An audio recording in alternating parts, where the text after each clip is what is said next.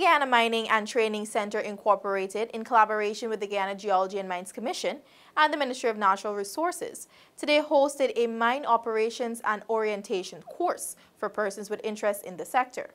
The event was held at the Girls Guide Pavilion in the capital city. The mine operations and orientation course was planned and executed for persons who needed a better understanding of mining in Guyana, for those who are desirous of making the sector their career path.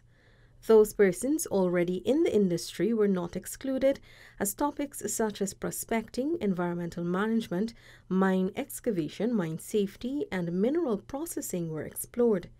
Minister of Natural Resources, the Honorable Raphael Trotman, who delivered the feature address, said he was pleased to see many youthful participants and women especially.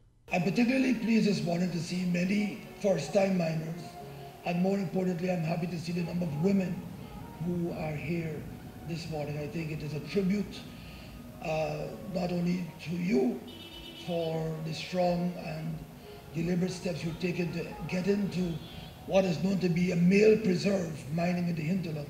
Minister Trotman says this change signals a good transformation and evolution of the sector.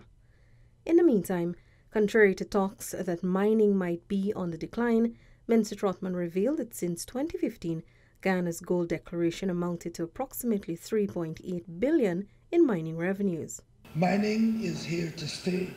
Mining is a part of the socio-economic mosaic of Guyana, and mining has been proven to be a good and sustainable and wholesome industry once done properly. Since 2015 to today's date, we have declared officially that is over 3.6 million ounces of gold in Guyana. That tells you that mining is not in trouble. And some may want to tell you that the mining industry is in chaos and crisis. It is not. It has brought in close to 3.8 billion US dollars in revenue. Mining is a very healthy place. Felicia Valenzuela, InfoHub.